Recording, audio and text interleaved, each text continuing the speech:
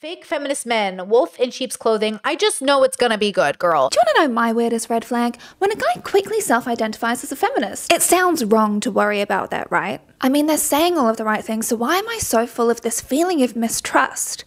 And why do so many of us actually feel the same way? We've seen publicly praised progressive guys in recent years be shown to have done really bad things, behaving in completely different ways behind closed doors to how they act and portray themselves in public. And it's this which is making them a wolf in sheep's clothing. And the issue is, it's not just them, it's the fact that they stay mates with people who continuously do terrible things, and uh, they seem to not have a problem with it because it doesn't directly affect them. I mean, they're a good guy, right? And let's be real, it's way easier to cast doubt on the victim themselves, especially if they're not a perfect victim, rather than actually have to question your mate. Ooh, interesting.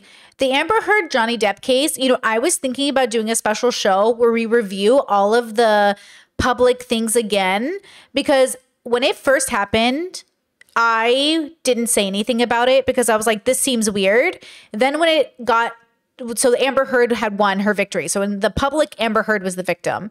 Then when Johnny Depp was the victim, I felt similarly, where he was more of the victim in a mutually toxic and abusive relationship because that was the information that I was given. But now people are saying it's obvious Amber Heard was the victim. And I'm like, oh, okay, hold on. So then I was like, maybe we should go back and review it with fresh eyes to see if maybe we were wrong and was Amber Heard actually more of the victim in a mutually toxic relationship because I do think it's mutually toxic.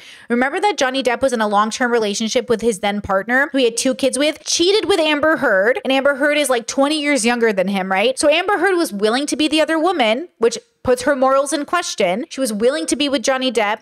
Johnny Depp was also infamously a person who in Hollywood people loved and saw toxicity in. And Amber Heard is somebody that people have liked, but is new to the industry and people have had a lot of issues with.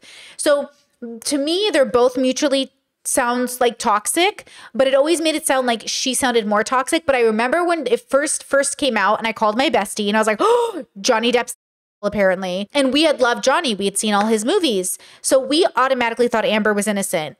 But then it sounded like Johnny was innocent. And then it sounded like they were both guilty. And now Maybe we should go back and review the court case with fresh eyes because maybe we'd come to a different conclusion. Because now the girls are taking Amber's side again. And I'm like, oh, did something change? But I wonder if anything ever did change. Mm?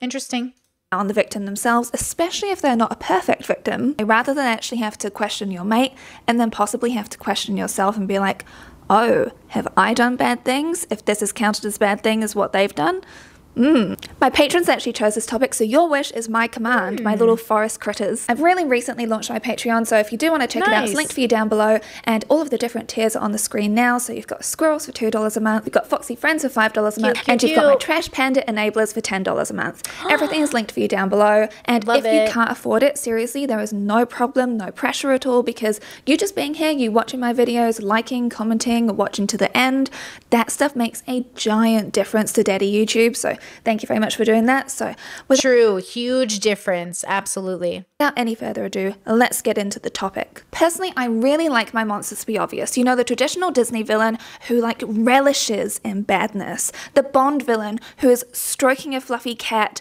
who is just saying all of their evil plans, and they just can't even help themselves with just how evil they are. You know, think about the guy on the Tinder profile who's holding up a shirt at the gym, he's taking a picture. You know, you know exactly what they're about. You can easily avoid them. You spot them a mile away, you can cross the street, you can call your friends, you can warn each other. Even if you do have to come across them in your life, your guard is definitely up when you're dealing with them, right? It's the sneaky monsters that I'm most afraid of. Mm. They fit in amongst the sheep, they learn all of the right things to say, they learn. This is what we're always worried of. All of us are worried that we're going to misjudge somebody, right? Because look, as a woman, I don't want to misjudge a man just because he's a man and think he's abusive. But then it's like, how are we going to judge people? And I can't hold people to the standard I live my own life because my morals are for me, they're not for you. And most of you wouldn't qualify, no offense, but like, let's be real, a lot of these men out here would not qualify for my standard. Okay, so like, eh. but it's not even that high of a standard. Don't even get me started with how low of a standard I feel like I have for people. And they're like, it's too high. And I'm like, okay. oh my God. Anyways, so this is the fear we have is are we misjudging somebody? Is somebody tricking us? But then you don't want to be paranoid and assume everyone is out here to get you because like Nobody wants to be Jordan Peterson, you know? Nobody wants to be JK Rowling. Nobody wants to be that paranoid. So it's like, how do you make sure you're not paranoid? I go by the data and I accept that humans are deeply flawed. They're deeply flawed. But this is why, and she said it earlier, what happens if you stay friends with a bad person? I don't mind being friends with a bad person as long as I can tell people you're bad. If you expect me to be your friend and tell people you're good because you're my friend, oh, no, no, no, no, no. No, no, no, no, no, no. I love you. No, no, no, no, no, no. I am I have no problems being friendly with somebody who's in recovery, who's on a journey to be a better person because I don't think you're always a bad person. I think one day you might actually try to be a good person. And I would love to help, you know, cheer you on in the process. I mean, you got to do the work. But I got to be able to tell people like, "Oh, don't mess with them. They're on a journey." But if you expect me, if you're like, "Oh, but if you're my friend, you'll always root for me." I will always root for you to do better, better, but I will never lie to people about your bad behavior. Like I'm, yeah, Biza says, yeah, I'm not covering for anyone. I'm not covering for you. I'm not going to cover up for you. I'm not going to tell people you're good if you're not. But also, I believe in your ability to be a better person. So I'm not going to end our friendship just because you're a bad person. But I might have some boundaries because, again, I'm open but with boundaries. I'm open but with boundaries, as my shirt says.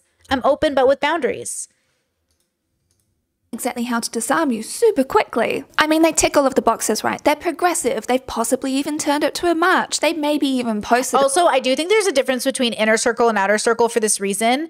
Bezos says if you cheat, I'm telling your partner loser. Look, if I just have a casual friend and they cheat on their partner, I'm going to end that friendship. But if you're like my sibling or if you're like an inner circle person and like you cheat on somebody, I'm going to encourage you to go to therapy and I'm not going to end our friendship because casual friends are who you end friendships with over petty disagreements. French, like other friends, you don't just end a friendship because somebody cheated on their partner, in my opinion, or robs a bank or commits a felon, like a felony. Like you don't ditch people because they make bad choices. You ditch people that aren't important to you because they made bad choices. If you're not important to me, I'm probably going to ditch you over like who you vote for. But if you're important to me, then I will, you know, I will hold you accountable, but I will also love you. It's called unconditional love, guys. It's called unconditional love. Okay? The black square in 2020 like every other performative person did. And most of all, they dunk on openly misogynistic men. Therefore, oh my God, beautiful.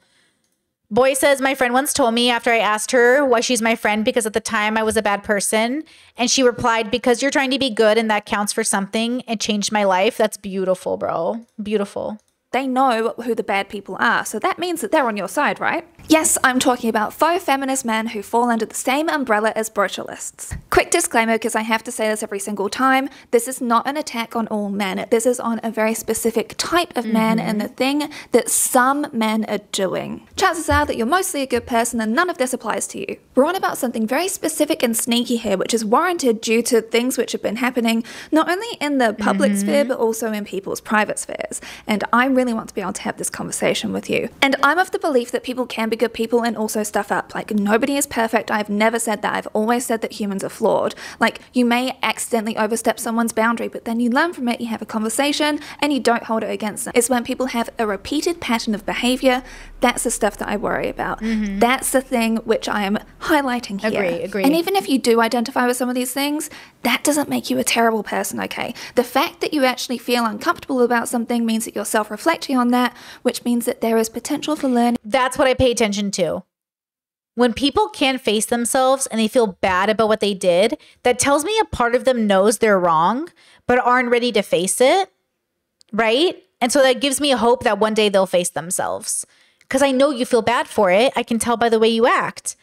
But yet you won't change your behavior because you're too prideful to face yourself and admit you were wrong, because then you'd have to admit you were a bad person at some point. Which, by the way, being a bad person, everyone's a bad person at some point, guys. I hate to break it to you.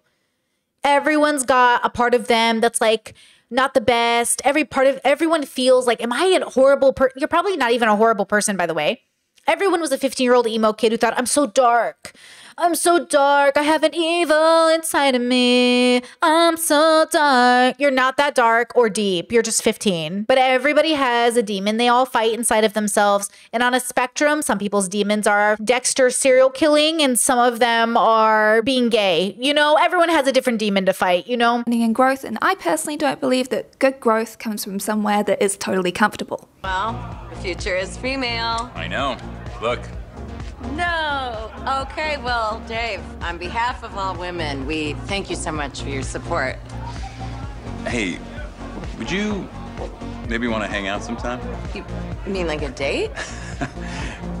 yeah, like like a date. Um, Biza says me at 14 thinking I'm a sociopath because I thought BBC Sherlock was cool. Uh, Brittany at 15 thinking she was a psychopath or sociopath because I thought Dr. House was cool. Do you know what I mean? Like all of us have these thoughts of like I must be so cool and edgy because like I identify with this character that I don't even identify with. I outgrew House so quickly. We all go through phases. Don't judge yourself too harshly. No, thank you. Okay.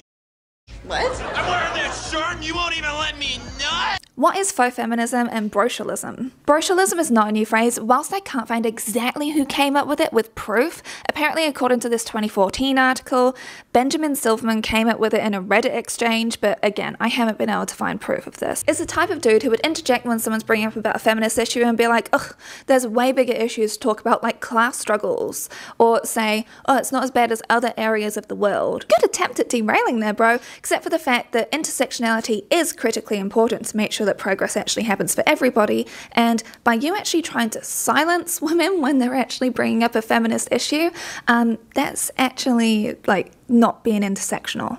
What I'm saying is that socialism doesn't exist without feminism, okay? It's all intersectional. From my readings, from my observations, and from feedback from you, it kind of falls into two categories when we come to brocialism and faux feminism. You've got guys who are progressive, but patriarchal values are baked in. You know, they grew up with it and they haven't really questioned it all that much. They're left leaning, but they also uphold traditional gender roles mm-hmm. and they kind of expect women to actually know how. And the moment they get challenged by a woman, they turn misogynistic and ableist. We know the types.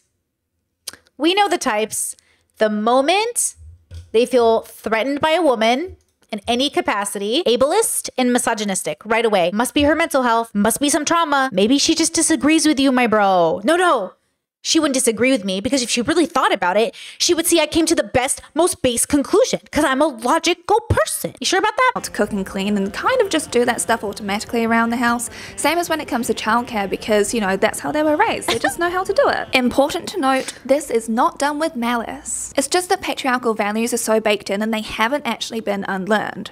And a little bit of selfishness here because, you know, women's issues, trans issues, indigenous rights, BIPOC issues, like none of that stuff really directly affects them, especially if they're white men. Let's be real, a lot of these people are white men. it's not really been a core focus for them to learn about because it doesn't affect them. Whereas, you know, Karl Marx, oof, that affects everybody because it's a class struggle. But the thing is that talking about class struggle is actually very easy, especially these days. Um, but you know, addressing the other stuff is more challenging and means that you need to self-reflect on yourself and also have those uncomfortable conversations with your friends, your colleagues, and your family members. And then you've got the second category, which is the one with the malice. This is where they actively dunk on misogynistic mm-hmm. men. You know, they mm-hmm. set themselves apart by doing this. They probably actually know quite a lot of stuff. They're probably well educated this comment she highlighted says you're genuinely a good dude alex standing up for your friends without hesitation when they're uncomfortable is king behavior well yeah, so much for that. Educated. They may even know some feminist history. They may even try and take the microphone when they attend a women's march. They know the right things to say and they sit on their pretty perch of possibly white saviorism here and expect people to be lining up to, you know, mm-hmm. play with their mm-hmm. eggplant. And then they get involved with typically women and chip away at them slowly, breaking them down to make sure that they are nice and subservient. They silence their girlfriend when they speak up about something that makes them, the guy, feel uncomfortable. They say sexist or racist jokes, but you know, it's done in an ironic way, so it's totally fine. They're controlling of their partners and women in their lives, even if they're friends, as we'll be getting to. These are guys that can sadly be emotionally and physically abusive, however, the fact is, they're regarded as a good person, so people doubt them Aww. even more when when it comes to people even making a claim about it, even if they ever are able to come forward. But then the doubt goes towards the victim, especially if they're not a perfect victim. I want to show you this, which Lily made from Vulgar Memes, which I think explains things incredibly well. I'll try and link their Instagram below, but YouTube really doesn't like their username. They always age restrict my videos anytime that I am like plug it in their Instagram Really? page. It's ridiculous. It's socialist interested dudes, but their Oh. progressiveness ends where it directly impacts them. But they're also sure to expect furious jumping freely, right? Because that's what feminism did. Feminism meant that women are now free with their bodies and they earn their own money, so you don't actually have to put in as much effort in order to be able to get them to sleep with you. No, it was Hold on, I want to read that to you guys. So if you can't see it, how to spot a brocialist. Okay. A fun, helpful guide. Defin- my definition left wing men who value their politics as center to their identity, but treat women terribly and ignore political issues that affect women. So this guy, you know, he has a look. Um, it says a woman is killed every day, every three days by a man in the UK. No way. Are you sure that's true?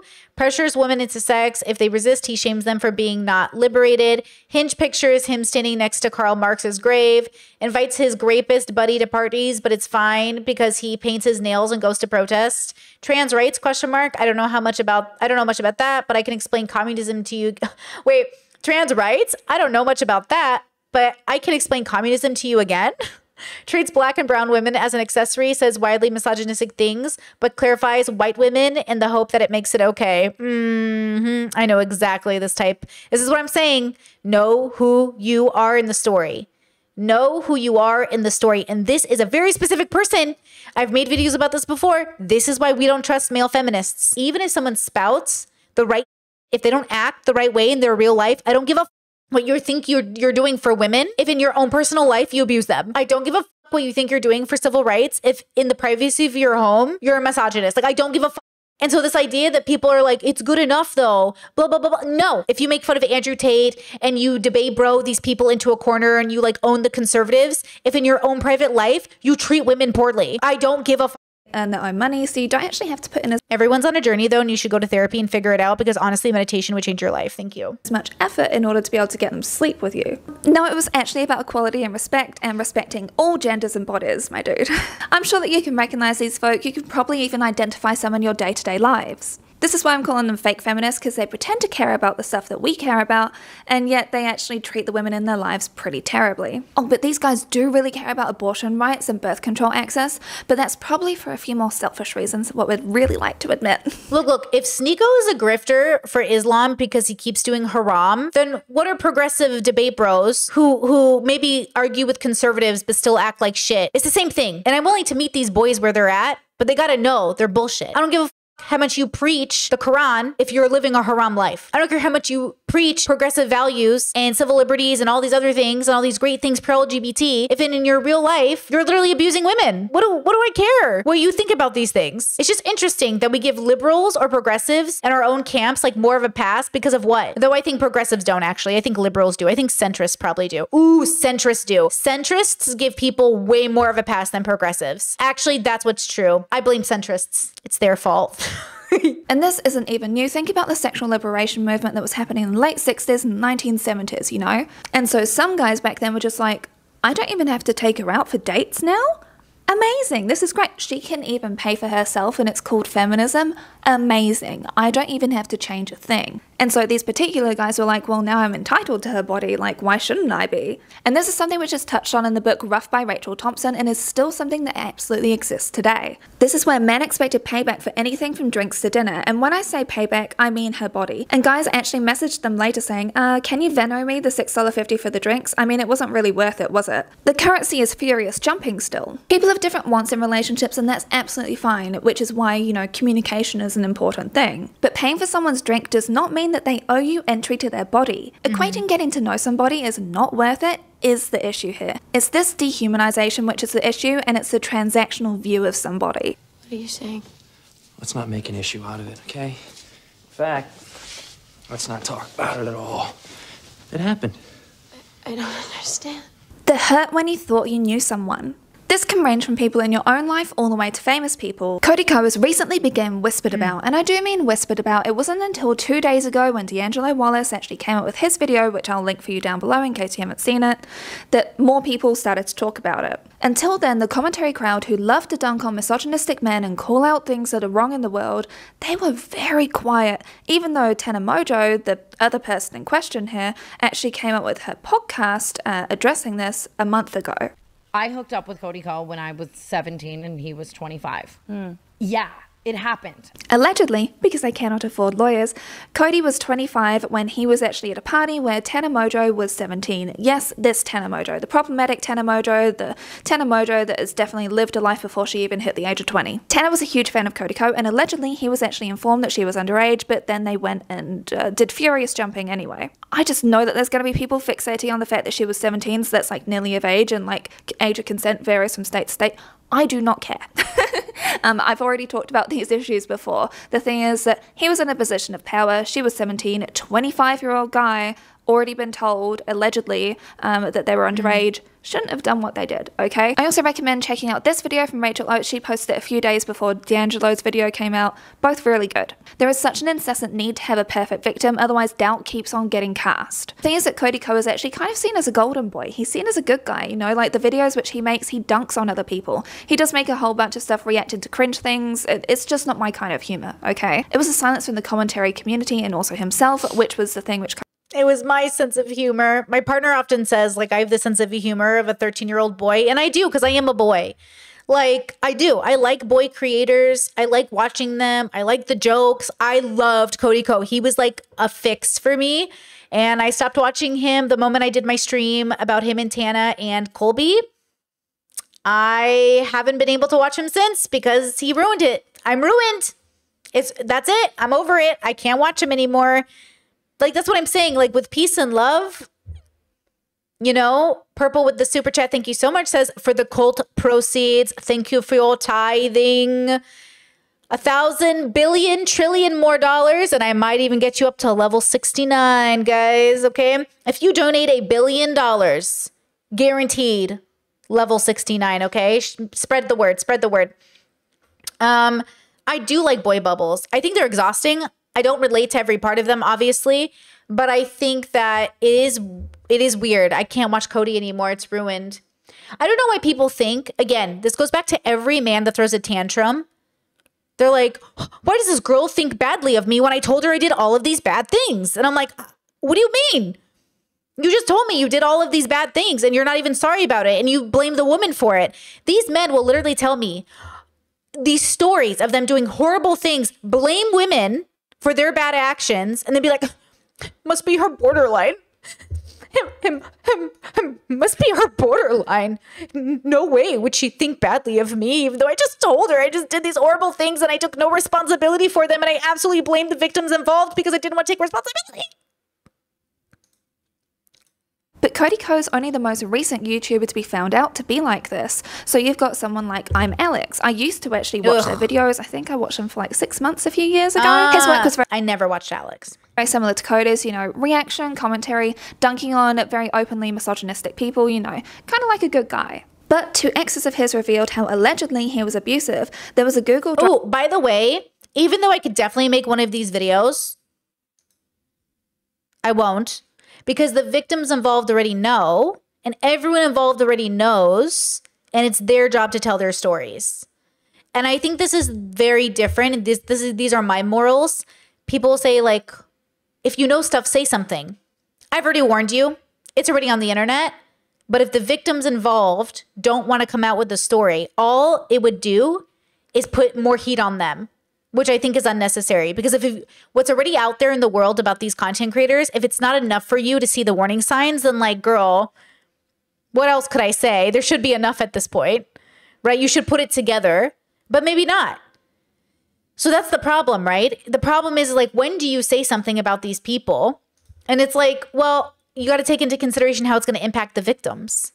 You've got to think about that. And I think if you don't, that's unfair. But I will say, oh, you just wait for the victims to give me permission and I'm going to make a video. you just wait and I will make a video, bro. You just drive wait. full of messages sent between the two of them, where he uses racist and ableist slurs towards them. He was allegedly emotionally and verbally abusive and would also gaslight his girlfriend Annie, making everything about him. He also allegedly was physically abusive, and then you know what happened? People actually distanced themselves from him. Hmm.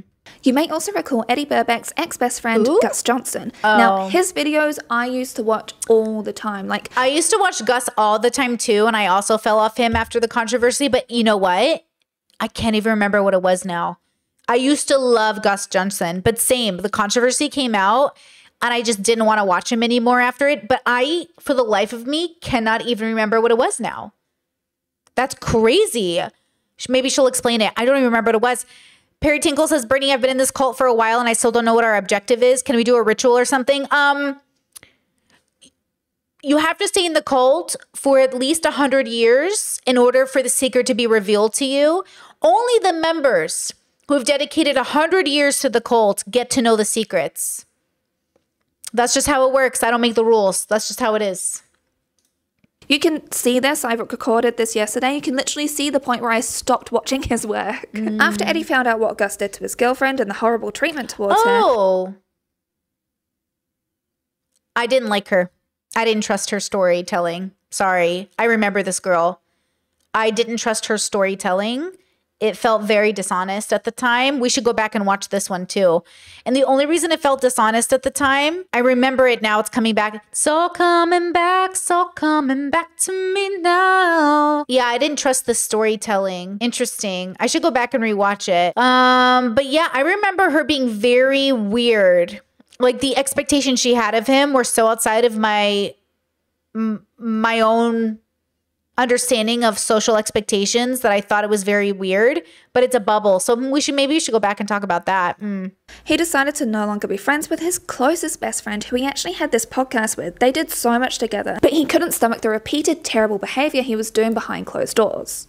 trust between us from me is completely broken and I just can't work with him in the future. I know that I, at the time, along with so many others, were incredibly shocked by this because we always thought that Gus was such a good guy. And this is why I'm saying this is the stuff that's happening behind closed doors. And that's Okay, you guys are saying, yeah, he was a bad boyfriend essentially during her ectopic pregnancy. Yeah, I remember it now that I saw Sabrina's face.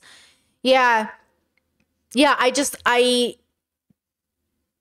people are bad in tough situations, but also like him. But also, did he deserve to get canceled because he didn't show up properly? I don't know. I just feel like that's weird.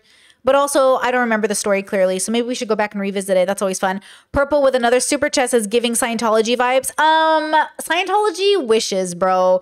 Honestly, Scientology scares the fuck out of me. Those people are so weird, and I hope to God if you're in Scientology, you get out because honestly, I saw a documentary on it and it made me want to cry. It seems so scary. That's why it's so much harder to find out about this stuff and why I'm so wary of things and why so many of us are as well. You may try and say that I'm advocating for cancel culture, and that's absolutely not No, she's being so nuanced right now. She's killing it. She's being so nuanced. I love this. case. The issue here is the fact that these guys were all positioned as like amazing, good golden boys. You know, like they're the good guys, right? And then behind the scenes, they were just doing I think I think what's difficult, and I'm gonna say this too, we shouldn't prop anyone up as the good guy. Because anything they do will not be good enough for us. Right? If you prop somebody up as one of the good ones, and the truth is, is like that doesn't even exist. One of the good ones is just to your standard, right? It's not even a real thing. But in this bubble, I get it because you think it's one of the good ones and it's not. But I think that's a standard we should stop putting on people because it doesn't even exist. You're not one of the good ones. The question is, how much of reality do we agree on? How much do we agree on this perception of reality? And the closest you are to me is the correct answer. That's what we all think. And that's why I think we all live in bubbles. And that's why we do congregate into societies and communities that think more like us because then we feel safer. Because we feel like this person can see me and understand my struggle, which is why diversity is beautiful, but it's kind of a myth. I do think diversity is sort of a myth because diversity implies a relationship with reality that differs from somebody else in a distinct and like specific way which makes it almost impossible to look at one another with a sense of safety if given the opportunity, you would want them to think like you, which means you would want them to be, to be different than they are, which means you don't really believe in diversity. I'm cool with diversity. I like it, but that means you can't expect people to change because diversity implies some sort of difference from someone else, right? Now, I think there's a moral standard of diversity, and I do think that it is probably good to be pretty close minded to certain people's outlooks while acknowledging that they can live that weird life over there, whatever that means, right? So I think it's interesting when we even prop these boys up who we do not know anything about as one of the good ones because of their aesthetic mostly. If you'll notice, what's his name? Gus Johnson and Cody Ko have a very specific aesthetic. No tattoos, pretty homely looking, not the hottest guy in the room, not the ugliest guy in the room. Got like pretty, you know, kind of homely girlfriends. Sabrina's a little bit more makeupy, of course, but like the fact that Cody was with Kelsey, a lot of people trusted Cody more for dating Kelsey because Kelsey looks more homely, less like one of those LA girls who just want clout. So even the person that he dated and his homeliness made people think he was better than he was. But maybe he wasn't. Maybe he was just exactly what he was and no one wanted to acknowledge it. If Tana and Gabby and all these people knew about Cody Ko, then why didn't they make big videos about it? Why didn't they talk about it? Because no one knows. When are we supposed to talk about it? When are we supposed to say something? Because the truth is, you don't want to ruin someone's life, but you also want to take some, like, you want to stop them from making more victims. So, how do we do that? Or maybe we should ruin their lives. Do you think Cody Ko deserves to have his life ruined? I don't think anyone deserves to have their life ruined. I think people, society, ideally, which will never happen, will reach a point where people are treated accordingly, but not with a desire to torture. The irony of people thinking they're better people because they want to torture a bad guy, you're still torturing someone, dude. I don't get you. I mean, I do get you because I've been there. Absolutely. But I, you know, it's like, what are you doing? The truth is, there is a place for Cody Ko to be redeemed. And I want to go that path. Redeem him. But the irony is, Cody's got to redeem himself.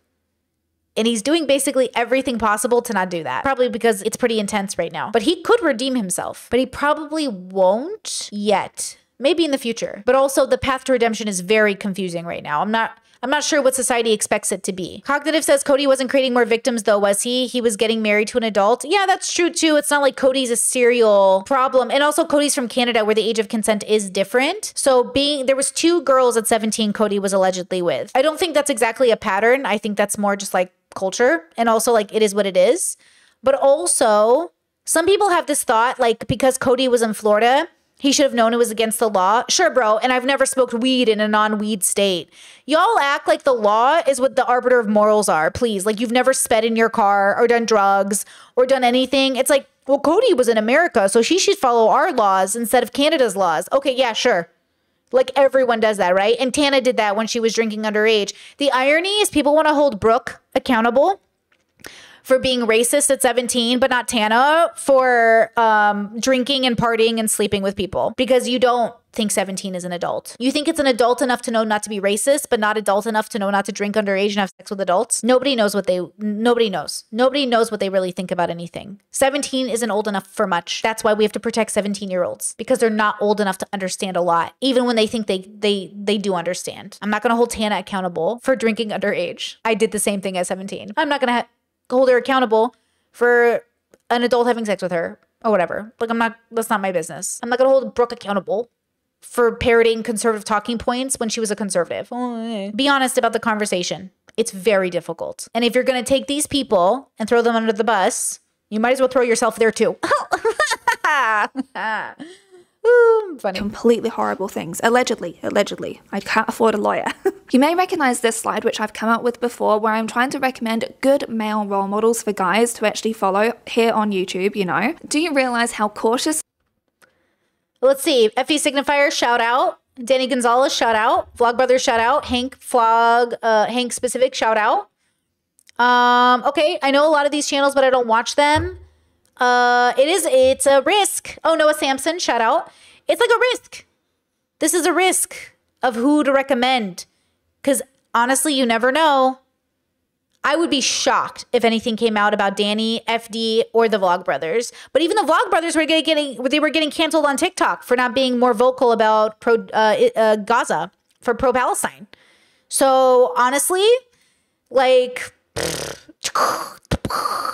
Male role models for guys to actually follow here on YouTube, you know? Do you realize how cautious and careful I am when it comes to recommending a cis straight guy? I've always been very wary of the fake nice guy act, and I'm sure a lot of us can And by the way. I'm up over it too. I'm look, I'm coming from a perspective that's supposed to give you a little bit of wisdom, but also know that we don't have it yet. We don't know what to do. I think what Cody did was fucked up. I also know that it's way too common for me to think it's a Cody problem. And there's so there's something in here that tells me like something's going on. I do think they're dumb though. I genuinely think they're stupid. And I think a lot of I think a lot of people who commit crimes are. That's why they get caught. I think people who commit crimes, a lot of them are very stupid. And I think that's where classism plays a role in the education system. But more than that, I think if you're too spoiled, you're also stupid. Like that's the irony. Is I'm not sure it's this black and white. That's why I would love a professional cuz look, this is the difference from philosophy and psychology. There is a psychology to this that I don't have the knowledge to access because I'm not a psychologist. There is a psychology to Cody Ko and all of these people and it could be answered through a mixture of biology and, and and psychology that I can't answer. And then philosophy comes later. I know philosophy and psychology have a relationship. They're like cousins. They make out. I get it. But also, there is probably a biological drive that Cody and these people are having. And then on top of it, there is a psychological drive.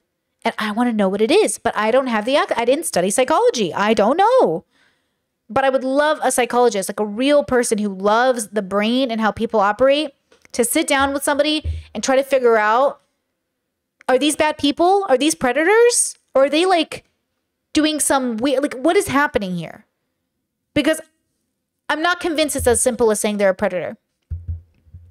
You know, I, it feels too easy, but also I know too much, I, I know enough about uh, criminals. Like, low functioning sociopaths over high functioning sociopaths, low functioning sociopaths are often jailed and imprisoned. And I think that's interesting. Like there's something, or at least from the last time I read about it, and I'm like, oh, that's interesting. Why did this why does this pattern of the population end up caught? And like this, that's what I'm saying. There's something here that's really fascinating. And I know the internet's not ready to have that conversation, but hey, at least we're having it, I guess why that would be, and I don't take your attention or trust for granted at all. Like, I genuinely see this as a duty of care thing to be like as thorough as possible. I also asked on Instagram for your experiences, and wow, thank you very much for hmm. sharing with me. I am sorry that so many of us have been through terrible things in life. I've got a small selection to share with you today, and as promised, as Wait. always, anonymous. Did this guy get canceled? No. It's like a meme because I saw I see him on TikTok and I like his videos normally. through terrible things in life. I've got a small selection to share with you today, and as promised, as always, anonymity is guaranteed. I'm so glad I could actually say that. I always struggle with that word. I used to have a friend who claimed to be a feminist and supportive of me being lesbian, but also expressed that he felt entitled to my body, like to be first in line if I ever got interested in any man, even if it wasn't him. He felt he deserved. Okay, can I say something else? I think people say things because they think they're supposed to say it a lot. Like a lot. Like hear me out because this I am also this is such a good video and I'm deeply interested in why people do things. I've noticed that people will make jokes about people being attractive because they feel like they're supposed to. And then they're just like a Lachlan who feel entitled to your body. Reference to kidology, Lachlan. So then there's like the guy friends that are like entitled to your body in such a weird way that's dehumanizing. Then there are the people that think they're supposed to make a comment like, you're so pretty because it's socially expected. And that's why I say, like, you have to know what bubble you're in and what's expected. Like, people will say things. I'm like, even I will say things. Oh my God, I will never say this out loud. But I said something once out loud because I thought I was supposed to. And everybody in the room looked at me like, oh, why did you say that? And I was like, I don't know. I just thought that's what I was supposed to say. And I was like, oh my God. And I will never, I'm so glad. No, oh, I will never say it out loud what I said. I just thought, I don't know what I was thinking, but I was in this social situation and I just thought it was what I was supposed to say. I was so stupid. In my defense, I had a drink, but not even. I remember thinking it in my head, like, okay, now they said this. Okay, now you say this. And I was like, okay. And then I said this thing, and I was like, this will win me social points. And also, it's funny, I think. And also, I think this is what they would want me to say. And I was like, okay. And so I said it, and then I was like, oh, and the whole room was like, why would you say that? And I was like, I, I don't know. In the whole room, I mean like three people, but I was like, oh no. And then I realized, like, okay, why did I say that? I said it because I thought it's what they wanted me to say in a way to build social credit to signal to the group that I was one of them. And I was like, oh, I misread the social situation and I said this thing. Okay. And this was like when I was like 21. Okay. This is 14 years ago. Alice says, Brittany, your autism is showing. Don't point out the obvious, Alice. Okay. So I realized this was literally so many years ago. This is so far removed from the person that I am now. But I think that's a real experience people are having. And so I wonder about that as well. I think uh, people don't have discernment or wisdom. And I can't blame people for not having that when, you know, they're voting Trump. So deserved to be first since he was my friend. He once rented a car for a vacation. It was very hot, two girls were walking by. He asked, Should we ask them to get in? But he had this weird expression on his face. I took it literally and told him maybe we should because it's hot and maybe we can drop them somewhere close to both parties' destination. He was very surprised with my suggestion and I told him again with sarcasm, We won't be having furious jumping with them. And I laughed afterwards. But he said, Well, if a girl gets into a guy's car, that's what she's looking for. I said, No, mm. it's to reach a destination and what gives you the also, okay, there's two types of humor that really throws me.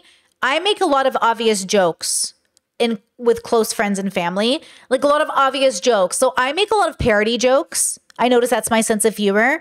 So my sense of humor is say the joke that you're not supposed to say because if a person really meant it, it would be bad, but that's the joke. Okay? So I like parody jokes. So this situation literally is awful, but then this as a joke is funny. So then my brain can has to figure out in social situations, are you making the obvious joke? Or are you actually making a joke that says you're actually the creepy guy? So if I was in the car with her, I'd be like, let's pick them up, orgy. And then the joke is, we're not actually gonna have an orgy with them, but the joke is a creepy guy would say that. But then they would have to know that I'm not a creepy guy. And so I'm not saying that, I'm saying the obvious joke. But if you're, they don't know that, they're gonna think you're literally saying something that you don't mean. So the dilemma is like, is he making the joke that's a joke, or is he making the joke that's literal? And if the opportunity came up, he would take it. But also, is he hoping for it? And that's the like social mess we're all like navigating through. Like, are you making the quirky like joke because you know that's what the like the person who's bad would make the joke? Or you the bad person making the joke? Hmm. Audacity to think this way, and he got very offended.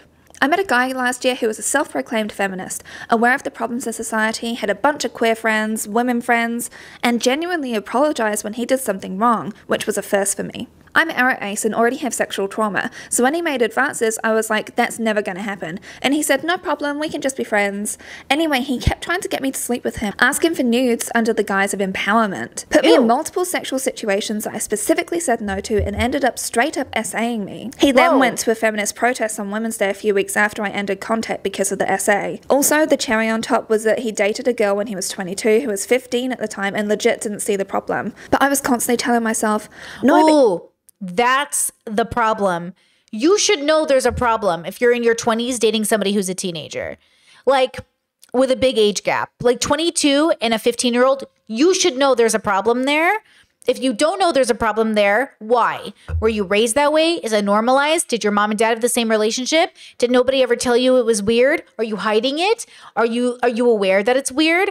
Are you you know what I mean? Like that's the thing too. Sometimes I meet people and they're like, "Oh, that's how my mom and dad were. My mom and dad love my relationship. They're big fans." Okay, well then how the fuck would they do anything different? But if it's a person who's like, "Hey, don't tell anyone," but like my girlfriend's 15. It's like, "Oh, what do you mean don't tell anybody?" Oh, so you know it's wrong. You know you shouldn't be doing this. Well, then that's fucking different. That's a different circumstance, right? If a person is born in a bubble and that's all they ever know, why would they do anything different? Like, why do you think you would do anything different? Because you have this magic thing that says, like, oh, I would have done something different because look at my life. Like, oh, how privileged are you, bro? But at the same time, if they're hiding it, if they're ashamed of it, if they know people would look down on it, oh, what are you doing? Now, at the same time, that's how a lot of gay people feel. A lot of gay people feel like they have to hide it. They're ashamed of it. If people found out, they would be very angry. And then they wonder, am I doing something wrong because I'm gay? And this is where my borderline came from, which is in remission. Is as a gay kid growing up, I was like, am I a bad person? Like my demons were about being gay. Growing up, the darkness inside of me was like, am I gay? Oh my God, what does that mean? I like girls and I'm like eight years old. And like, what does this mean? And then I had to ask myself, am I a bad person because I like women? And then that was a whole complex. So we need to separate the people that are having a complex around being gay and the people that are trying to have kids. But also don't see them as kids because in their heads, they're peers. I'm telling you right now, there are stupid men out there who are 25 who literally think 15 year olds are their peers. They're really mature for their age, go. They're really mature. There are people who are in their 50s dating 22 year olds. They're very mature for their age, though. I'm 65. I'm dating a 21 year old. They're very mature for their age, though. Okay, there's something wrong with you. Or there's something very human about you. What is it? Why how did you get like maybe it's again it's my bubble where like your elders are supposed to reach elder age and into their wisdom and you're supposed to be wrinkly and you're supposed to have the wisdom of the tribe. You're not supposed to be fucking 20 year olds. Okay? You're not all these old people that are fucking 20 year olds, like that's not that wasn't the goal. That wasn't the goal. The goal was for you to be an elder in which you would bestow wisdom on the young people. But see how none of these young people have wisdom? That's what I'm saying. None of these young people have elders to go to.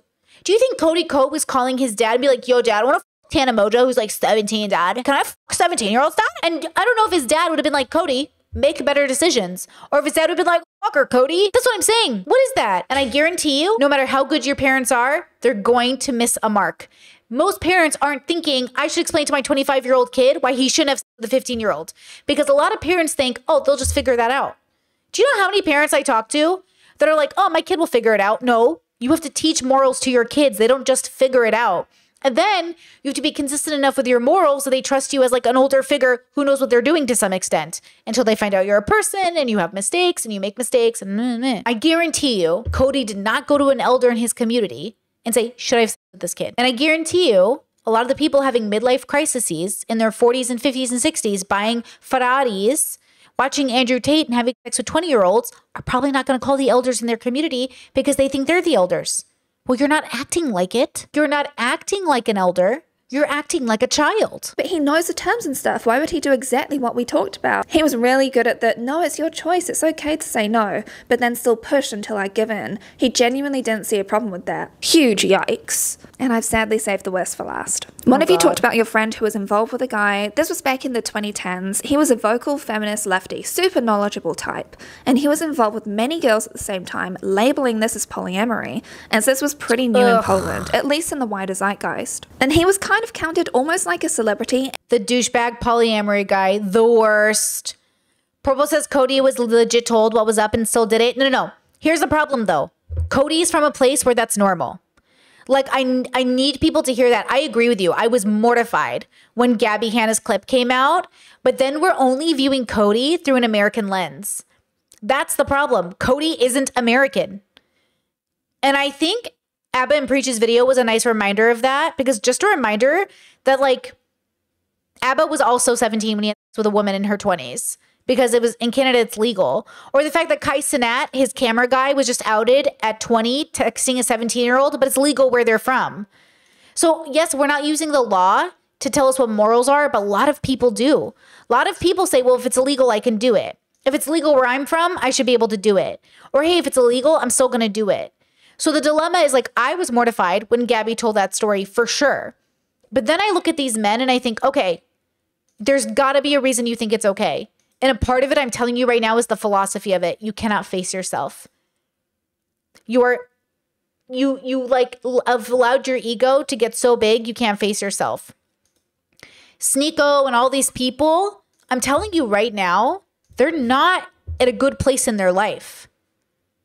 Right? They're not at a good place in their life. And so, again, no matter how much they pretend to be, they're not responsible, right? Kay says that now they're viewing Cody from the 2024 internet culture where people are more consent and power dynamic uh, aware. Oh, absolutely. You have to remember, like, you have to um, imagine where he is, what it feels like, like, what it, like, we should want to change these things and move people forward. But first, we have to explain to them why it's even bad when they have a biological urge, they have a cultural expectation, they have uh, people around them that are engaging in it, even if some people disagree. So you're going to listen to every conservative that tells you not to be gay. Again, being gay is natural, but so is wanting to have sex with somebody you're friends with. And as far as Cody and Tana were concerned, they were friends. Remember that everything we do is in our nature, even the bad stuff. That's why this this idea that like oh it's natural so it's okay no we want to harm reduce natural is everything that we are unless you think humans are somewhat not natural natural is just everything we do the question is can we be a higher part of our nature to be kinder to nature itself? Can we cut down less trees or grow you know do it appropriately? Can we allow people to grow to a certain age before we engage with them? It doesn't even matter if Tana was 25 if it was an inappropriate situation he shouldn't have done it. But how would he know that if he didn't have the language? How many people in the debate sphere laughed at me when I said we should negotiate consent? How many of you fuckers laughed at me when they were like, Brittany's so funny. She cuddles with her friends and negotiates things. but these people aren't all predators. They're stupid and they're lazy and they don't want to, quote, ruin the passion of asking, Can I kiss you before I do? Reminder that there are people on this space, in this debate space, not my space, I'm not in the debate space, but you know what I mean, who literally laugh. Brittany's so funny. Oh, Brittany's just living in La La Land. Haha, Brittany, Brittany negotiates consent with her friends.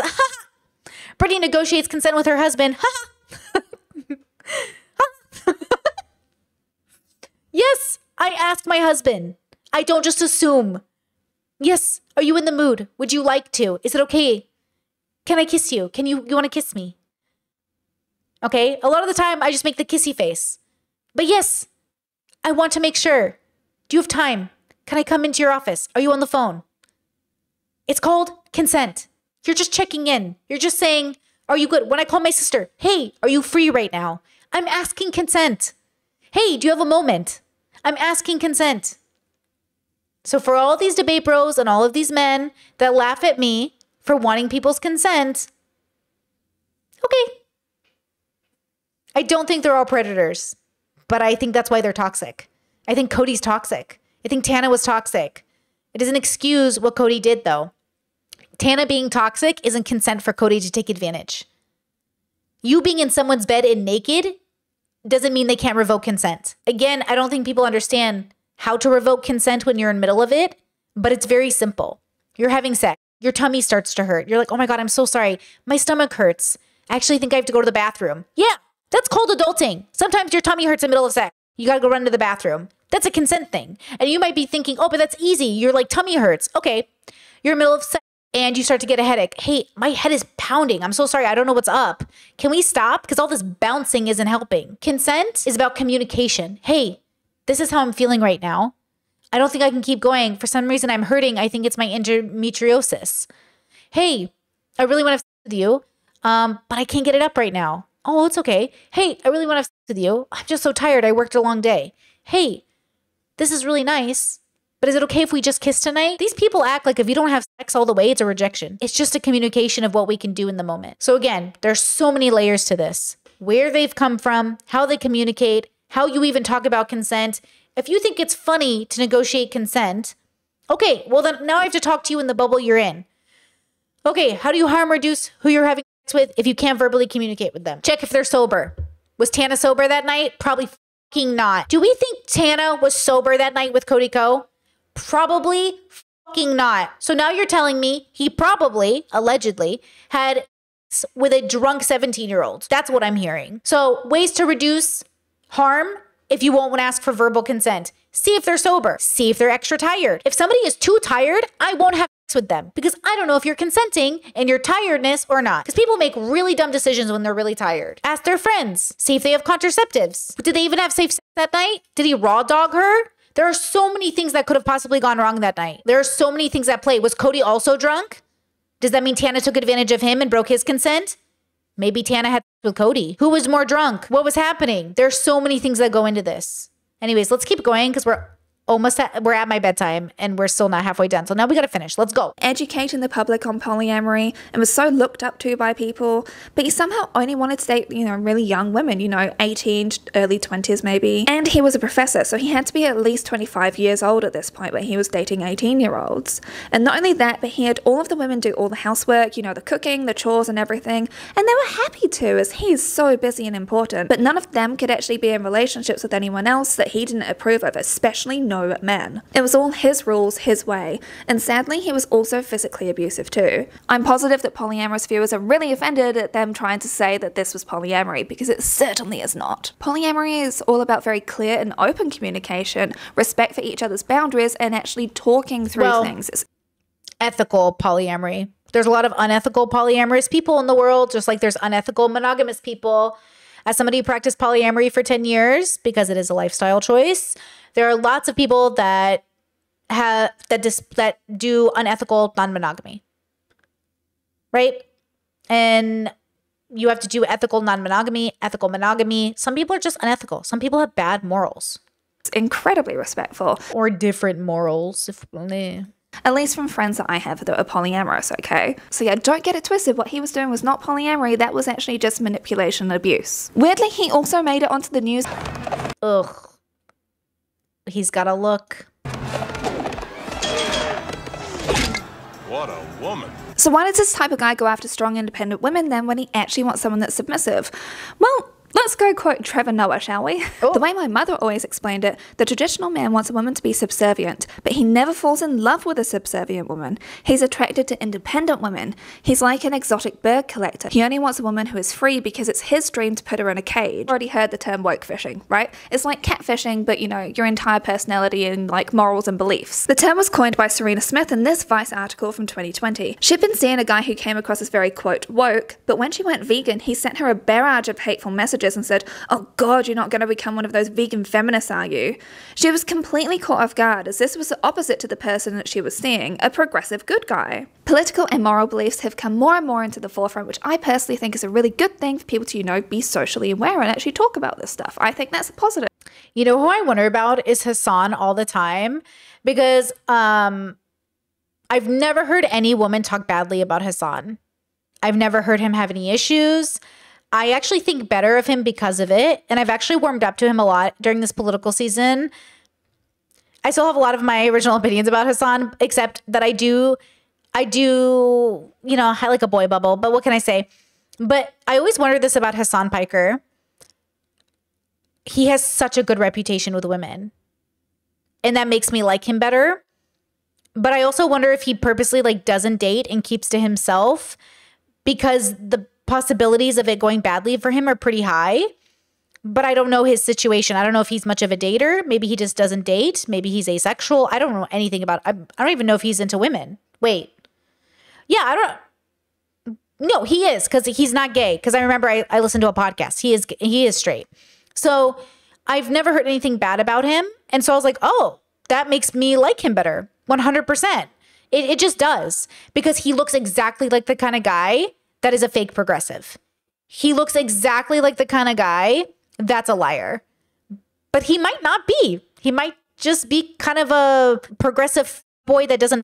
I don't know. I've just never heard anyone say anything bad about him. Discourse says, I think his old videos for Young Turk show his true personality. Um, I'm not going to judge somebody from 20 years ago, though, right? I would rather judge Hassan for who he is now than who he was in college.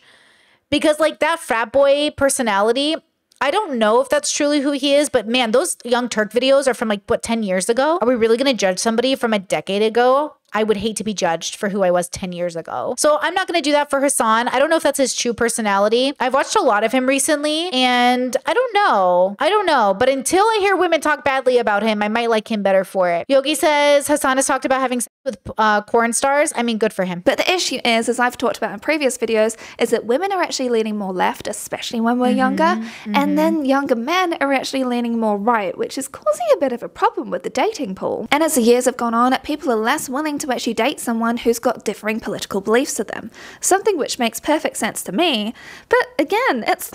It's stopping eggplant action. What? I freaking marched for you. You won't get down on this. Layla from La La La Let Me Explain on Instagram, who I have shouted out many times and I'll also have link for you down below, they've actually said this. A lot of recent political movements are based on moral values. These are things that you cannot agree to disagree on because they have a direct impact on the welfare of other human beings. And the thing is that this is true, right? And I always say that people can learn, change, and grow at any age. However, that actually requires people to actually have some self reflection and actually do the work, do the Hold on, hold on. I love this already. This video is so good. K Ray D says he he dates and is into women and believes his I believe his last girlfriend he spoke about publicly was also a adult worker. Oh, interesting. Okay, we love it. An open-minded king over here. Okay. I don't know how progressive he could be in that traditional sense, but I mean, you know, Kay says, isn't that what's happening right now to Cody? Or is him still being friends with that guy that's making Tana stuff change the present day pre- representation of him? Yeah, probably. Like, Colby, I, the problem is, is like, I think Colby raped that girl, in my opinion, based off of what I read about the case. I think it's very unlikely that he didn't. Now, whether or not he processed it as a graping could be different. I wasn't inside of his head, but I think getting a girl drunk, filming her while they were having intimacy, and then for the girl to wake up and not remember anything, and then to be ostracized from the school, for Colby to have a recording on his vid- on his camera, which he liked to cops about. Like I, with all of my known judgment, I would say that it's very unlikely that he didn't grape that girl which means it's most likely that he did. And in order to give the benefit of the doubt to Colby in that situation, I would need to be inside of his head. And I can't I can't offer that to him or anyone in that situation who's willing to get somebody drunk and record them. Like I can't give you the benefit of the doubt in that situation. It's too bad. And I'm not the one to do that, but maybe a therapist can, maybe a priest can maybe somebody else can. And so the fact that Col- uh, Colby was in Cody's wedding, they're friends, the fact that they've never talked about it and he's never, you know, I get it, but also I it's a lot. That's a lot. I think I'd feel very uncomfortable. I would never let that person in my house. I just couldn't trust them. But also, it's not my job to trust them. We're not friends. Now, if Cody wants to trust him, that's one thing. He's allowed to do that. I think people who have done those things can seek redemption in some capacity. If we didn't think that was true, like, that's fine, but I believe in restorative justice. I believe people can get better. I believe you can be a bad person yesterday and a good person today. I just think the road to doing that is going to need a lot of intervention that I doubt Colby has gotten. Right? Colby is the guy who's friends with Cody. And that's why Cody's reputation is being tainted as well. Because Cody not only had sex with multiple 17 year olds allegedly, but also is friends with somebody who like took advantage of a woman. So I just, you know, it's, mm, yeah. the change. Um, but you can just put on a mask instead and then get your eggplant played with. So why would you actually do the hard work? This wanting of a strong woman makes me think of the very controversial 2015 study which came out. The Shriver Report Snapshot, an insight into the 21st century man. It was conducted on 818 men in the USA about the difference in what men want between a wife and a daughter. They were instructed to pick the top two to three qualities that they wanted in a wife or an adult daughter, noting here this is about an adult daughter, not a child, an adult. Intelligence took the number one spot for both, with 81% for the adult daughter and 72% for the wife. Independence was the number two spot for the daughters at 66%, but only 34% of the wife. So, what was the number two spot for the wife? Attractiveness at 45%. Which was only 11% for their daughters. Strong took out the number three spot for daughters at 48%, but only 28% for wife. The other attribute that was also at 34% for wife was sweet, but that was at 19% for their daughter. And quickly glancing at the homemaker stats, 14% for wives, but only 5% for daughters. Nearly triple the difference there, fellas. Looking at these graphs side by side, daughters' intelligence, independence, strength, and principles all got over a third of the votes. For wives, intelligence, attractiveness, independence, and sweetness got over a third of the votes. These are two very different women that are wanted. Now, mm. yes, I would call this a small study, but it's an interesting snapshot to actually look at because I think it reflects quite a lot about our society and dating world. And I want you to read that quote back from Trevor Noah one more time. This is why it's important to know who you're dating because the same people in the Trevor Noah example where men want they go after independent women but want subservient wives. There is another bubble where women want sensitive men but they want masculine appearances. So the bubble difference is in that. So people will say, I want a man who's kind and sweet, but I want him to look masculine and manly, but without the the parts of the masculinity that I think is gross, right? And the dilemma is people are like, you can't have those two things.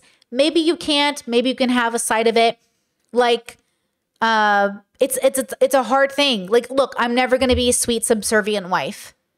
You can't ask for an independent woman that has a career and loves her job and me to be subservient. I'm sorry, that I can't do both. I can't do both. So, but a lot of these men want to tame me. Over the years, a lot of men would approach me and be like, I bet I could tame you. You might be a brat, but I could tame you. I bet I could hold you down. And I'm like, get out of my face. And that's always what I hear. Oh, I could tame Brittany. I could take her. Uh, I don't want to be tamed. Thank you.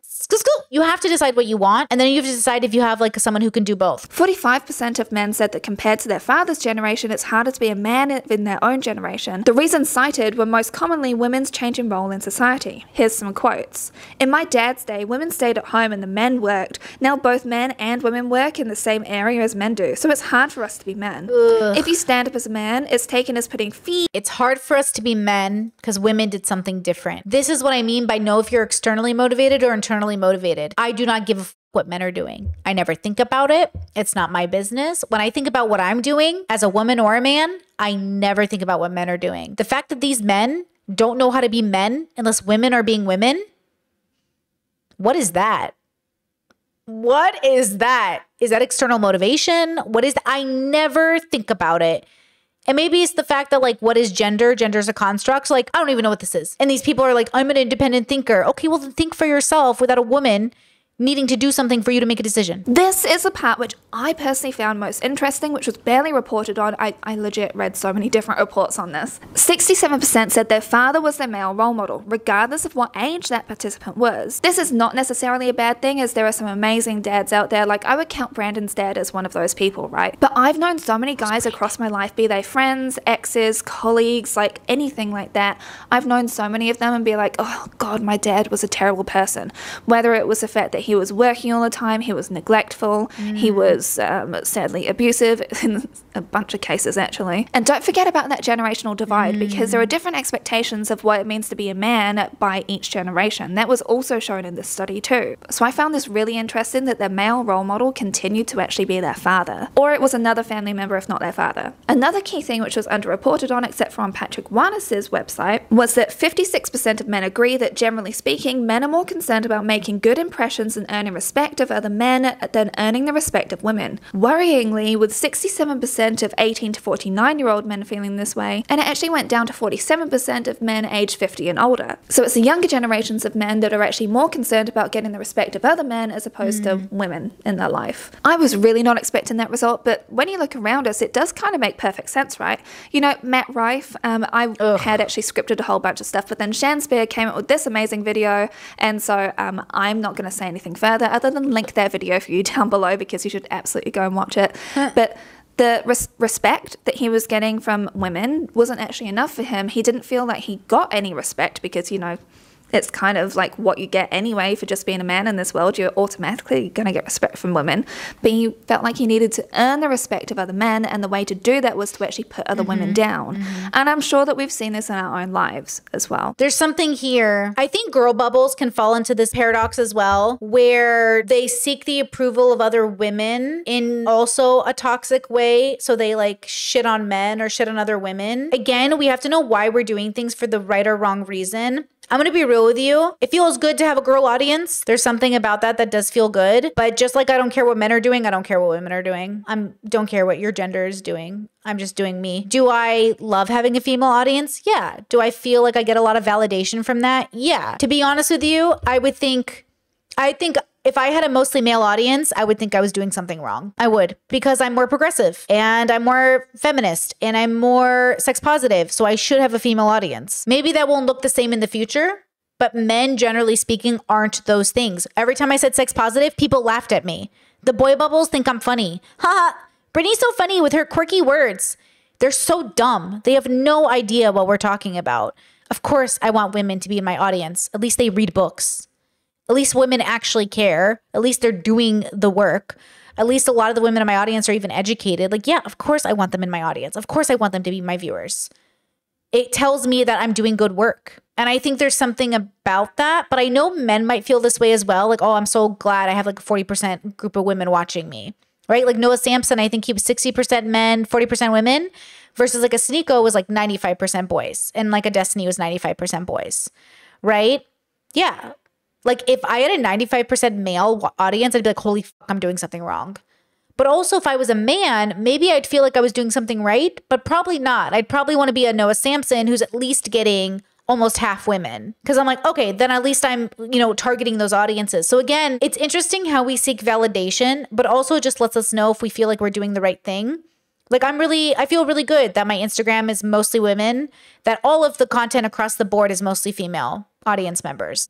Song, right? And it also talks about the shame of being a woman who dates a man that turns out to be bad. From the many people who have reached out to me, the shame felt for actually falling for a guy who turned out to be mm. manipulative, who turned out to be a terrible person. That's hard. You think you're dating a guy who's progressive, you think you found a guy who's cool, and then you find out he's a big, massive douchebag and he serial cheats, lies, and gaslights people. Yeah, it sucks. Oh well, you get over it. You learn. person who turned out to be abusive, that shame was actually so huge for you because you're like, I'm a strong, independent woman. How come I fell for it? Like, how how did I not see this? How was I so tricked?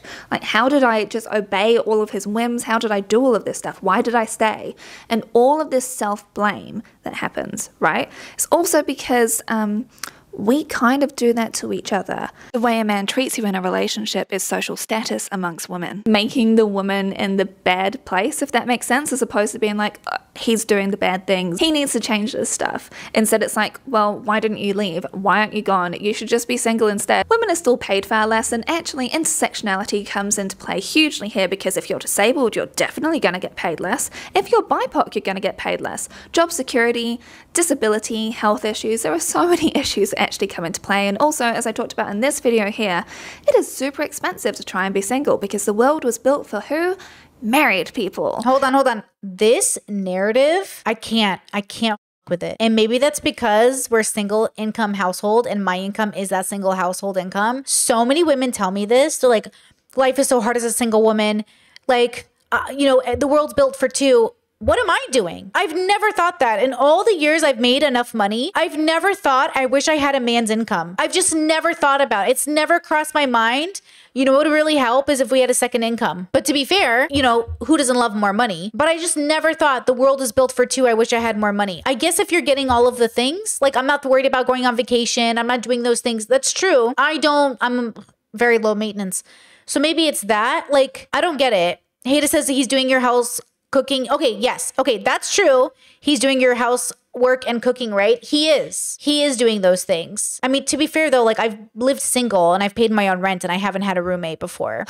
it depends like on what's I think what it is is like your level of expectation for living. I think that's the key. Cuz obviously he does a he does a lot. I don't want to take any of his credit away from him. Like he does so much. It it he makes my life so easy. Like he makes it really possible for me to work full time and I love my job and I never have to worry about anything because he does everything. So I don't want to take that away from him, right? He's a wonderful person. Like I'm very lucky I married her. With that said, I also think it's our lifestyle decision. Like we're not going on vacation every year. So yes, if we were wanting to go on vacation every year, we would need a second income.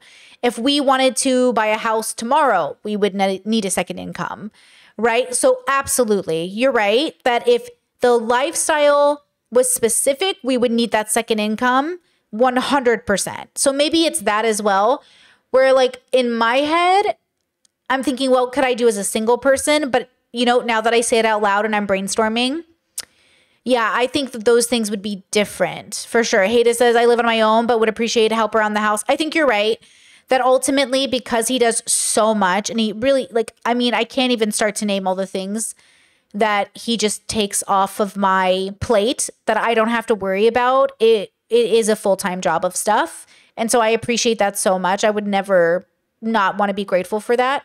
And then, more or less, because we don't have these expectations of wanting to own a car, or go on vacation, or do these things, or have kids, we also don't need that second income. So, to be fair, and to be fair, the reason we don't have those things is because we don't have a second income because it doesn't like vibe well for us. If we had a second income, maybe like if we were richer, sure, we'd get a car. Why not?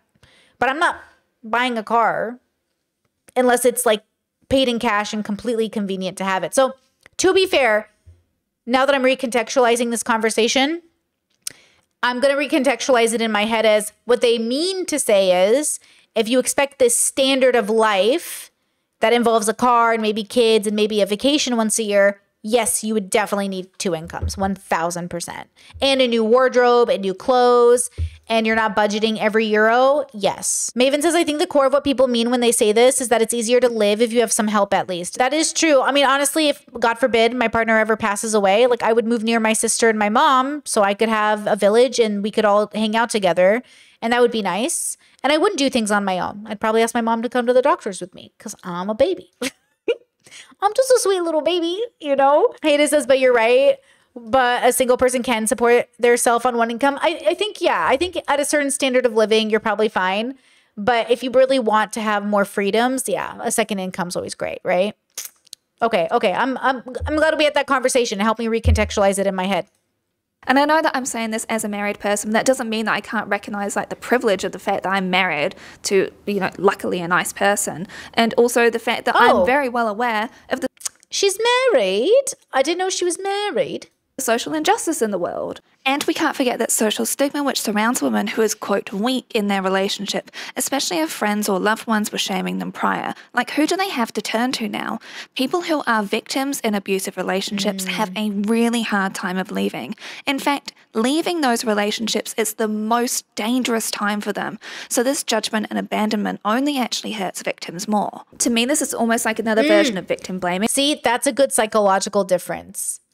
Um, often I get asked this question, and I really do think I don't like the question because I think it's dishonest.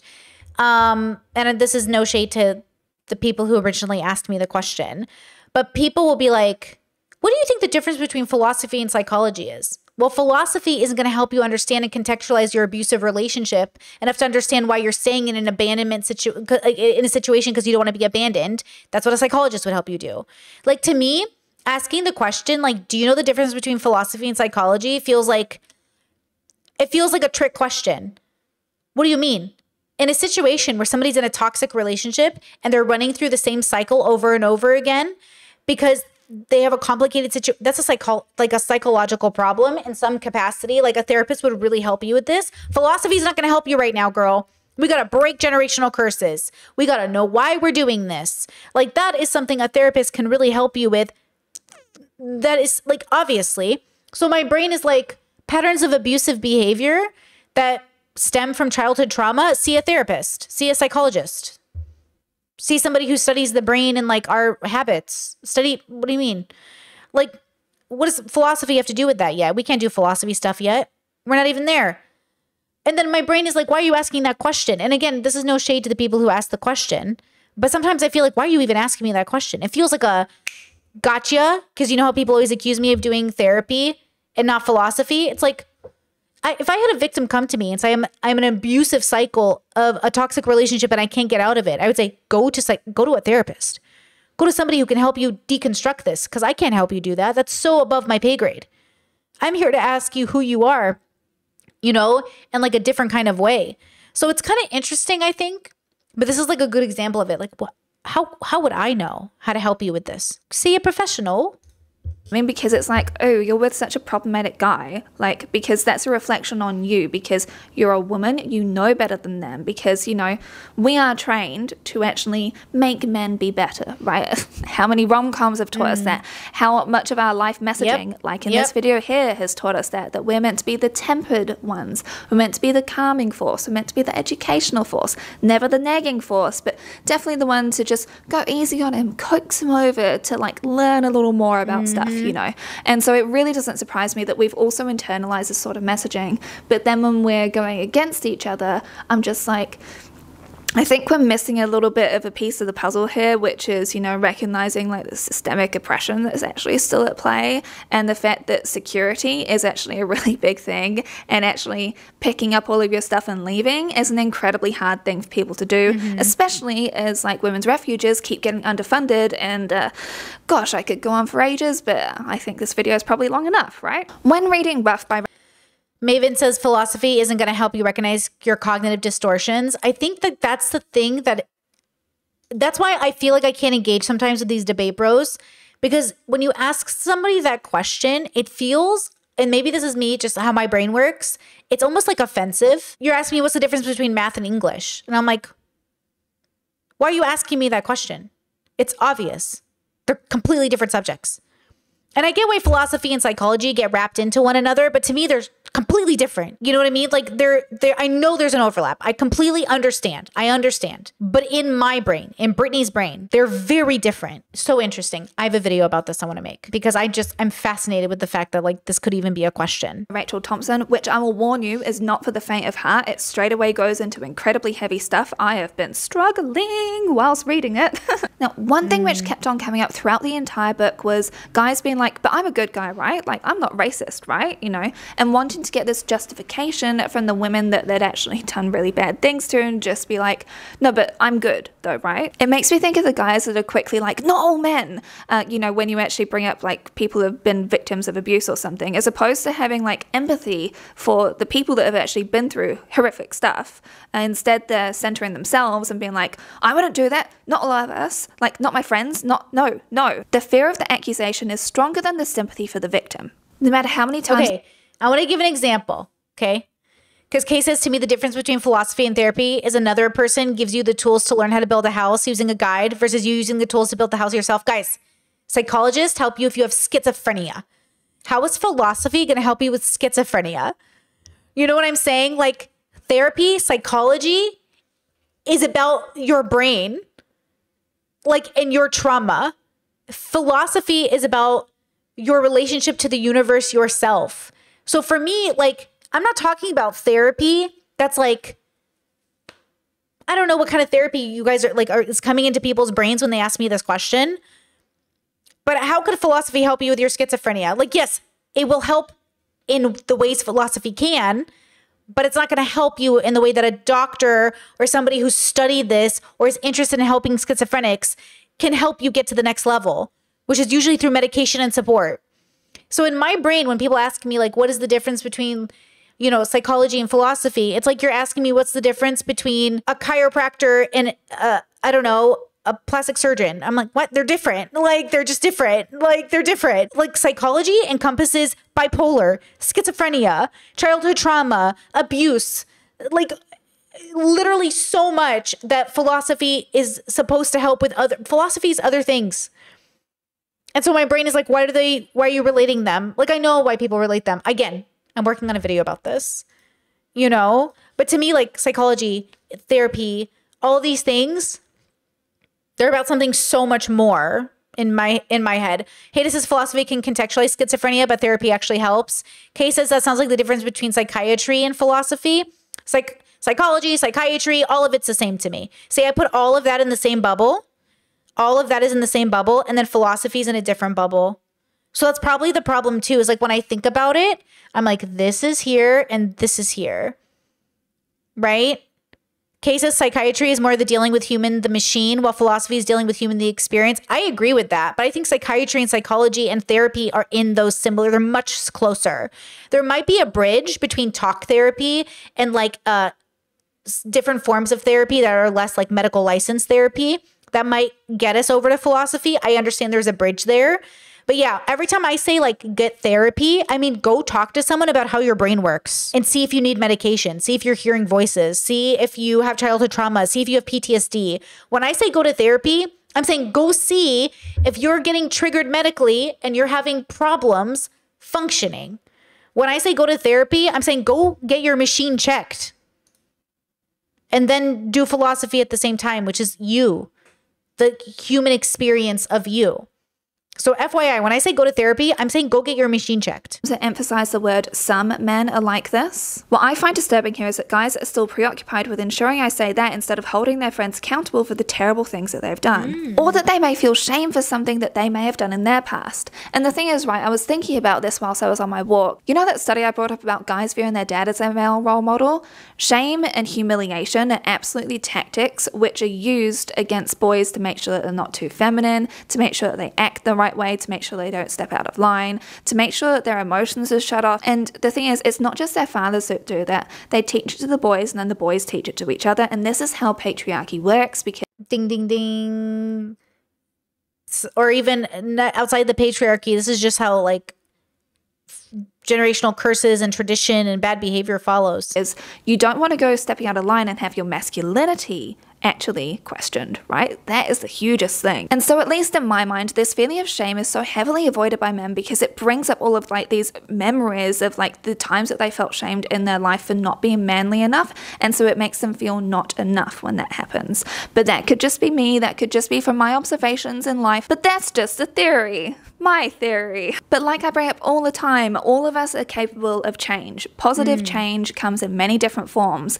And the first step is to actually be like, oh, this makes me feel uncomfortable. I should probably unpack why. You know, being hmm. open to the idea of therapy. Or Oh, I should unpack why. And this stems from, again, this sounds like it could be philosophy, but I think there's a distinct difference between philosophy encompassing all of the universe and yourself, and therapy being about the brain, your relationship to trauma, your relationship to like how you process information, which is a little bit deeper and different, right? Like, like therapy has names and terminologies. They've grouped people. They have names for things, you know. Discord said psychology how, philosophy why. I like that too, right? How your brain works and then why you do what you do. I think there's like a distinction there that's important, but I do believe in redemption. And I think you have to know the distinction between those two things in your own life to get to a point where you can be a different person, right? Because if you can't, then you're just going to repeat the same patterns, which I kind of feel like it's hard to hold people accountable for repeating patterns outside of a uh, in a way that doesn't also make you a bad person. Like, because I don't want to torture people just because they're repeating bad patterns. I just want to properly react to their bad behavior. all of that good sort of stuff, you know. And even if it's just like asking someone, it's like, hey, is this okay? And also being willing to admit that we're wrong and being willing to realize that we don't know all of the things that we don't know, right? Mm. That's the beauty of the fact that everyone's got so many different lived experiences. It's the beauty of the entire world. It's one of the reasons why I really like John and Hank Green and why I've always shouted them out, like since the start when it comes to like good male role models, because you've got these two incredibly intelligent guys that are always like, no, but I don't know everything though. I'm still learning stuff. And they're in their 40s, you know? So that's what I mean. Mm-hmm. It's like, I think embracing that sort of mentality is a really good thing. And also just recognizing that everyone's human. Like, everyone makes mistakes, everybody fumbles. The thing is, like I've been saying throughout this video, it comes down to having this consistent pattern of negative behavior done for manipulative purposes. Mm. That's where I'm like, oh, this is scary. Like, if you fall into the first section of like being a brocialist and you didn't quite realize it, and you're like, oh, there's probably some things I should learn there. That's great. There's always more that we can all learn. I mean, like, I definitely know that I don't know everything, and that's okay with me because there's so much to learn, and there are so many amazing people to learn from, so many amazing books to read. Everything it's it's a positive thing. So, anyway, this has been a very heavy video. Thank you for making it through all the way to the Great video. We really love to see it. I'm gonna link her video. This was a great video. We love to see it. And it brought on some great conversation. Because this is okay, this is the dilemma because um you guys are saying philosophy is also the science of logic and psychology figures out the directions of one thoughts. The problem is is there's this first of all, you want to there's a subjectivity to a lot of this. Hayda says philosophy isn't just about people, philosophy is about logic and methods of rationality. I think it's more of a construct in a sense where I think that means different things to different people. So sometimes I'll meet people who are like, I'm doing philosophy because I've come to a rational and logical conclusion that this is the only answer. Philosophy. That's an interesting way to experience philosophy to me. That's an ex- that's an interesting way to examine the universe to me. It feels very short-sighted. And I think sometimes people think philosophy means that the answer is the bubble construct they've decided is the answer. And then it runs into being bad logic that sounds like good logic, but because it's philosophy, it's still logic, I guess, right? So then I, I get into this like conundrum where I'm not convinced that we even know what any of these words mean enough to even have the right conversation in the right group. So then we have to have like that conversation about like, what do you mean by this? And what do you mean by this? And what do you, which always goes down back to bubbles. So then it goes down to English and words being used differently, right? I understand why people feel like Brittany's not doing philosophy because when I do philosophy, it looks like this. I get it. In the same way that I'm like, oh, that's not really a Catholic because if you're Catholic, you should do this. What we're saying is, mm, by the way that I understand the rules, you're not following the rules, but the rules are a construct. So when I look at a Catholic and I think, oh, you're not being very Catholic, I'm going based off the Vatican. I'm like, oh, well, based off Roman, like by the Pope, you're not being very Catholic. And they're like, oh, well, I'm going to do it this way. I'm like, okay. So there's something to that too, because it's all a construct and the same. Even the Pope is a construct. So when we're having these conversations, you really got to distinguish like what kind of a conversation are we having? Are we exploring and being excited and going, what do you think about this? And what do you think about this? And what do you think about this? Are we doing the actually, um, this is the answer because blah blah blah blah blah blah blah. Anyways, with that said, just remember that I think all the answers have already been solved, or all the answers are already in the universe. All the questions have been solved. It's just a matter of finding them. So at this point, we're all just like on a treasure hunt for the answers. But I think they're already there. We just have to discover them. I think some people think we have to make up the answers. I think the answers are already there. We're just discovering them. So this idea that like we don't know yet, well, somebody does. Something does. It already exists. It's just a matter of it being discovered. And discovering things is a lot harder because it's a process. And it may take a long time to discover. Discovering truth is like being in a mall in 1995 and Jurassic Park just came out and you're like digging up the fake dinosaur bones at the at the little booth. Did you guys do that as kids? And I remember doing it and thinking, oh, this is so cool. I'm like digging up a dinosaur bone. You have to go slow and methodical and thoughtful. And then eventually you dig up a bone, you've been working on it for days, and then you realize, holy shit, it's just the pinky. Fuck. Now I have to dig up the rest of the dinosaur to see what kind of dinosaur it is. You're always just digging up a part of the the answer, but it definitely, I think, is there. Right? Kay says, yes, the truth just is, always has been and always will. It just is. You can't, I'm not gonna argue with what's true. It just is. That's when people think like, oh, Brittany thinks she like discovered philosophy or discovered something or made up the levels. I mean, you, can't make up math, you can't make up the truth. You can just discover it and recontextualize it for other people. Like, I don't get to decide what's true. And that puts a lot of pressure off of you in a lot of ways. But see, people want to think they discovered something. People want to think they invented something. Give me credit. I'm Christopher Columbus. I discovered America, even though people were already living here. How funny men are to take credit for something that they didn't even earn. So they accuse you of doing the same thing. I'm not trying to take credit for nothing. I'm no Christopher Columbus. But let me tell you something. It's clear how desperate these men want to be him.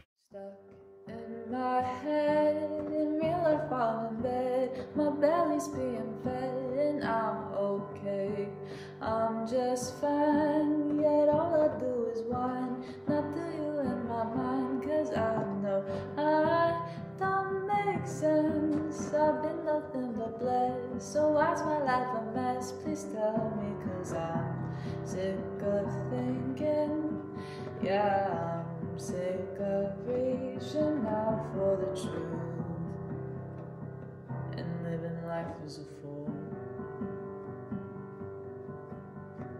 Dun, da, da, da, da, da, da, da, da.